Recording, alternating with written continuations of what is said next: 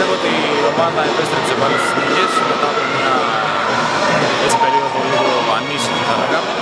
Ε, τον αγώνα του τον τον έχουμε ξαναζήσει φέτος. Ε, σχετικά εύκολος αγώνας γιατί τα παιδιά του Παναθηναϊκού ακόμα προσπαθούν να βρεθούν. Ε, κοιτάμε τη συνέχεια τώρα με την Κυψιά που θα είναι ένα δυνατό παιχνίδι για το League Cup και κοιτάμε τον επόμενο αγώνα βασικά με τους σύλλογους της Σύλλογου.